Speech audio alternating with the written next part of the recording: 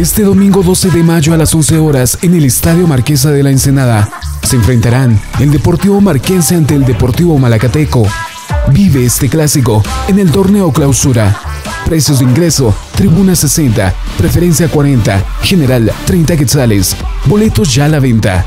Invita Junta Directiva y Canal 4 de Oro Rey Network.